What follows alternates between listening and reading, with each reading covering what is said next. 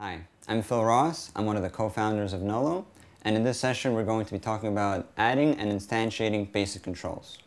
So what I'm going to start with is the most basic Hello World example. I have my PHP tags, which is the beginning and end of every PHP file. I have an include to my NOLOH path, which this happens to be in this setup. In a different setup, it might be in a different location. I have a Hello World class, which extends web page. It's the basic starting point of every application. I have a constructor for that class, and calling the parents constructor. This line will appear in the title bar of the web page. And then the next line is a simple alert of Hello World. And let's see what that looks like. I've loaded up here. There's that title, and there's that alert. So this example is good just to see a basic response from NOLOH to see that I have set everything up correctly. I have my class and constructor and so on. But it's not very useful in a practical sense. Uh, the problem with this alert is that it's very much a system message. And as you could see, the page is still loading. It's waiting for the user to click OK. It won't do anything else until I click OK. So that's typically not the way that you would present information back to the user. Uh, what you would normally do is you would create a new, what's called a label object, which will just display information without waiting for a response to finish loading. So that's what we're going to be focusing on in this session. Uh, so what we're going to do is get rid of this alert line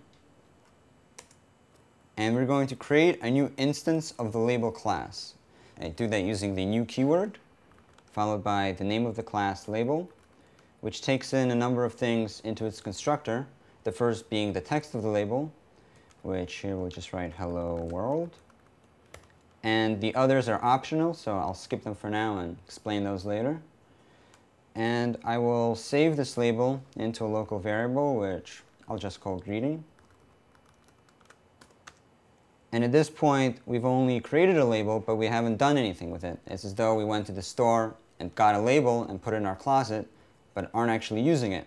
So what we want to do is we want to add it to the web page in order for it to display. Uh, web page and a few other classes have a property called controls, which holds an array list of all the controls that are its children. So now I'm going to add this label to the controls array list of the web page object. So this is the web page object. Then the property is called controls, which is an array list object. And I'm going to be adding to the controls that label which I've saved into the greeting variable. Now when I save this, we should be able to see the label hello world in the top left corner of the web page. Fresh. And there it is.